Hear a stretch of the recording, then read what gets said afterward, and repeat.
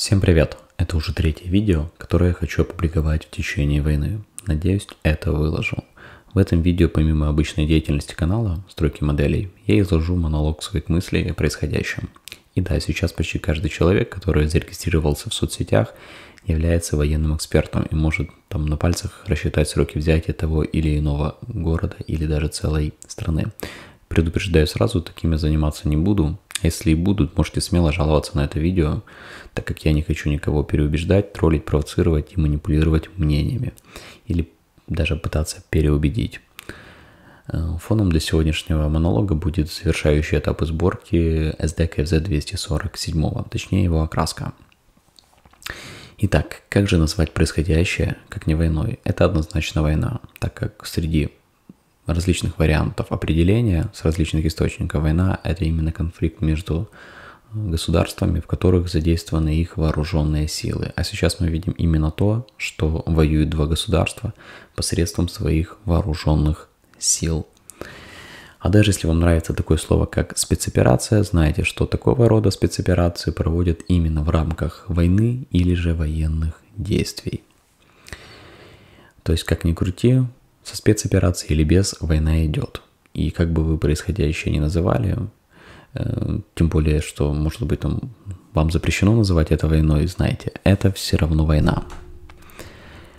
Так, по каналу и по хобби. В ожидании на публикацию стояла большая очередь видео, но с началом войны я вот эти запланированные публикации по пятницам и воскресеньям отложил, поскольку считаю, что сейчас не время для подобного контента, и вообще различный развлекательный контент, который не связан с там, поднятием морального духа, вообще неуместен. Не понимаю даже тех блогеров, которые продолжают э, снимать какие-то ситкомы.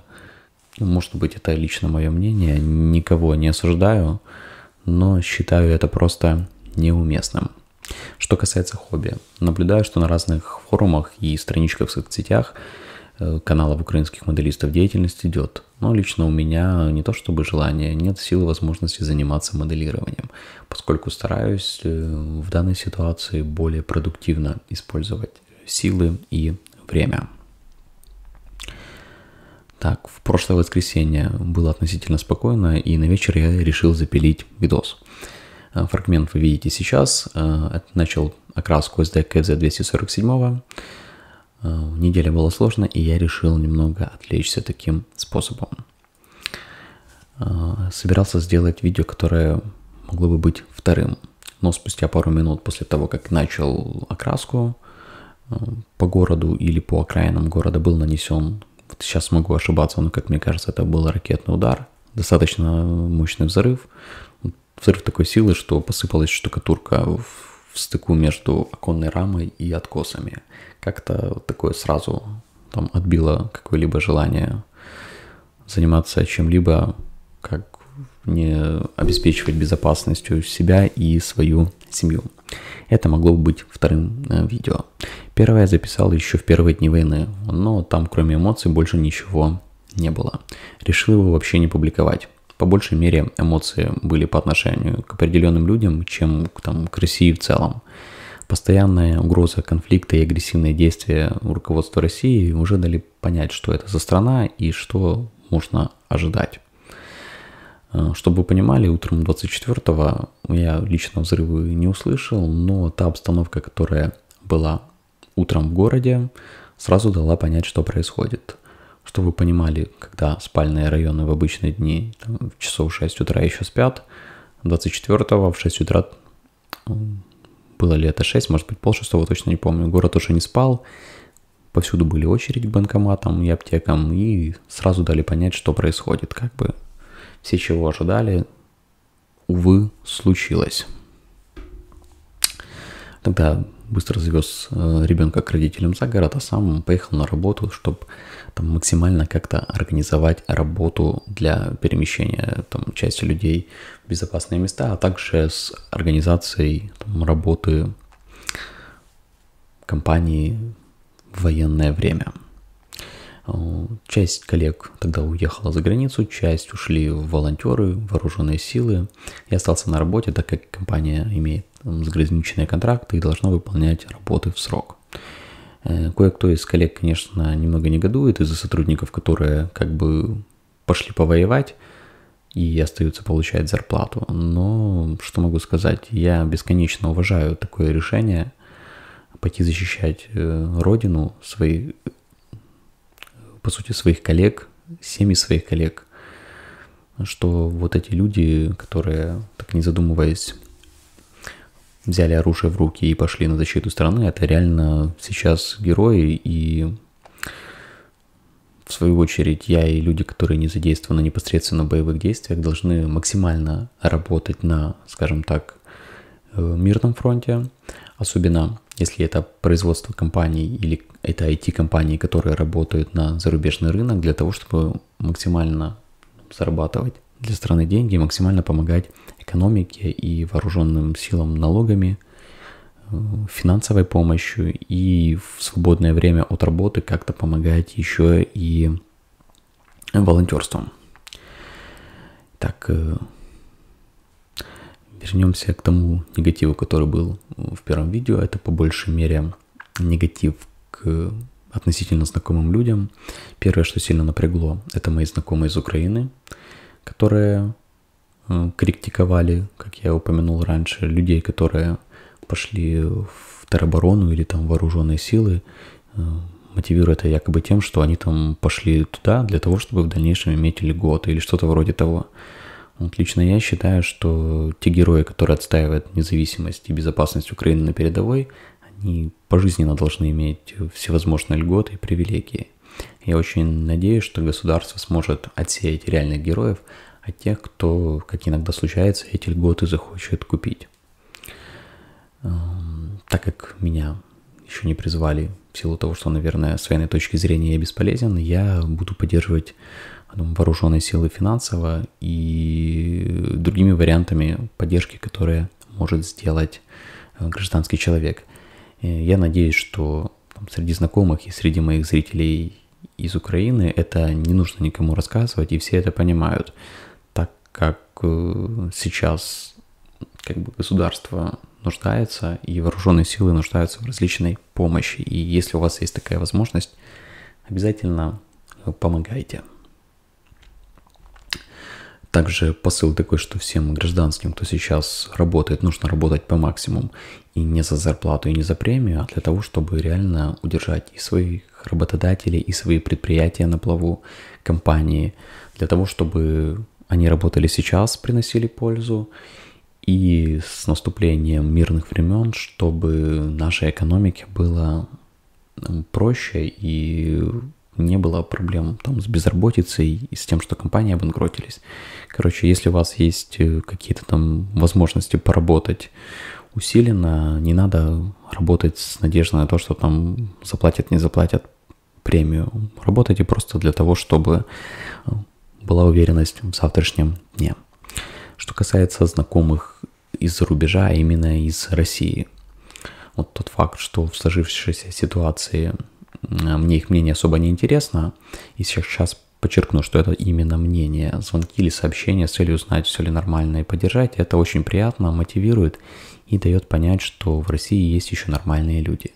Но там звонки или переписка с цитированием методичек, которые, не знаю, которых выкладывают в пропагандистических ток-шоу, э, и чтобы вы понимали, это не общих идей или каких-то мыслей, нюансов, которые там могут где-то услышать, это именно практически дословное цитирование лидеров пропаганды, скажем так, это вообще для меня просто трэш. Вот, допустим, есть люди, с которыми я еще там пару лет назад отдыхал на Западной Украине, которые там просили чашечку кофе львовского в Львове на чистом русском языке, а сегодня рассказывают о каком-то киевском режиме, фашизме, хунте, бандеровцах.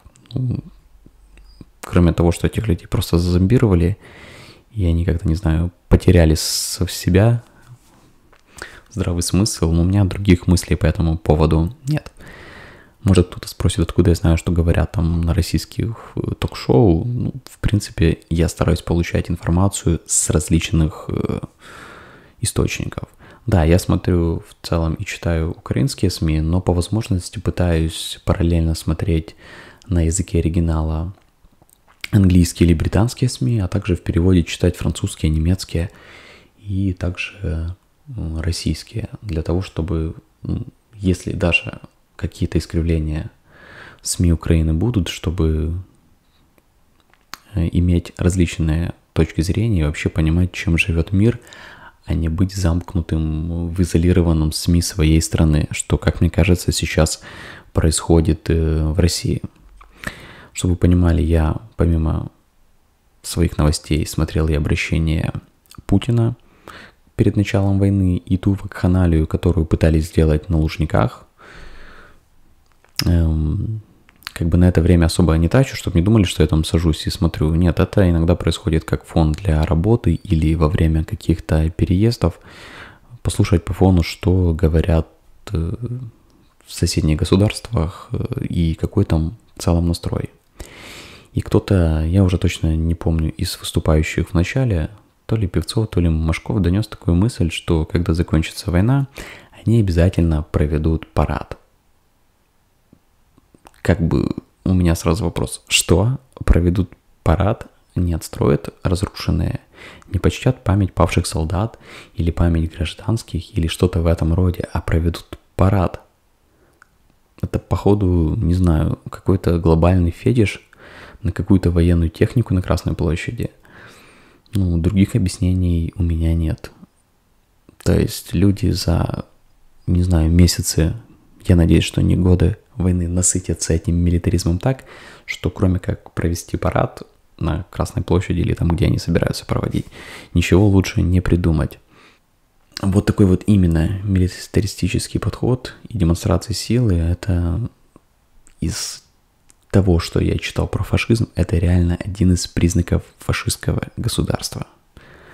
Так, немного отвлекусь на модель. Это долгострой SD KFZ247. Сейчас добрался до покраски и нанесения декалей, сколов и грязи. Э, маркировку и окраску выбрал для дивизии Великая Германия. Э, Великая Германия это был, наверное, один из самых боеспособных военных сил нацистской Германии. И как бы сейчас не обзывали друг друга страны, нацистской была именно Германия, и в некоторых источниках э, именно дивизии Великой Германии приписываются к войскам СС, но они, насколько мне известно, такими не были. Начиная с лета 41 года, это формирование действовало на самых трудных участках Восточного фронта, как бы, как сейчас модно говорить, тушила пожары и получила прозвище пожарной команды. По количеству кавалеров рыцарского креста Великая Германия занимала второе место среди всех сухопутных соединений Германии. Эмблему эта дивизия имела в виде каски. И да, эта машина, это техника врага, врага наших бабушек и дедушек, прабабушек и прадедушек, врага, которого они победили и вместе с союзниками освободили мир тогда от нацизма и фашизма.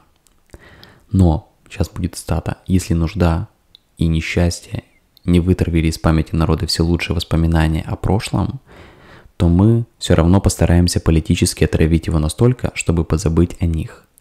Это цитата из Mein Kampf. И мне кажется, это то, что сейчас делают в Российской Федерации. Различные георгиевские ленты, непонятно откуда появившиеся, именно в том виде, в котором их используют. Псевдоисторические, псевдопатриотические фильмы. Взятие Рейхстага на 9 мая. Ну, непонятно зачем. Как мне кажется, это только искажает память и преуменьшает подвиг народа. Это, насколько мне известно, в России за это есть даже криминальная ответственность, но это не мешает как бы заниматься этим руководству. Сейчас грустно, что память о подвигах во Второй мировой иногда ассоциируют симпатии к руководству России, с теми людьми, которые и права не имеют ассоциировать себя с тем героическим народом, с тем временем, ну, это, не знаю, сродни доказывать принадлежность к христианству через селфи в проруби на крещение или с корзиной на Пасху. То есть провел парад и типа молодец. Хотя, помимо применения на себя героического подвига, нашего народа. В те времена руководство России манипулирует и делами духовными, так называемыми духовными скрепами. Так, особенно непонятно, когда такие амбиции, они опираются как бы на память тех героев и попытки омрачить кого-то сводятся до сравнений с фашизмом или там отлучения от христианства. Вот сейчас, может, кто-то скажет неправильно, что я как бы делаю, но я горжусь своими предками, которые боролись с нацистской Германией, и с теми предками, которые боролись против коммунистических захватчиков. Тогда были страшные неоднозначные времена, и много было насыщенных событий, но нельзя забывать то, что перед попыткой захвата Германии земли Украины были захвачены Советским Союзом. И, наверное, там от слова «союз» э, была только буква «С», и то, что происходило, явно нельзя было называть союзом. Те методы, которыми присоединяли тогда наши украинские земли к Совку, можно сравнить разве что с войной. И как вы видите, история снова повторяется, и наш северный сосед – и тут язык даже не поворачивается называть его братом, снова показывает свое истинное лицо и снова пытается каким-то способом воссоединить совок, захватить земли. Я даже не знаю какого-то истинного истинной мотивации. Вот сейчас уже начинаю скатываться к тому, что обещал не делать. Итак, тоже у меня немножко такое негодование, когда Путина сравнивают с Гитлером. Это вообще разные эпохи, разные страны, разные люди и разные амбиции и причины конфликта. И неизвестно, кто из этих персонажей хуже, если пропустить их деяния через призму истории и настоящие причины конфликта. Поэтому, если хотите сказать там, что Путин кровавый палач, так и говорите, не надо сравнивать его с Гитлером. Сейчас обращаюсь к тем, кто называют Россию фашистской страной ну, не знаю, насколько это уместно, но эта страна, это страна с великодержавным шовинизмом, национализмом, как мне кажется, и имперскими амбициями, которые прут через край.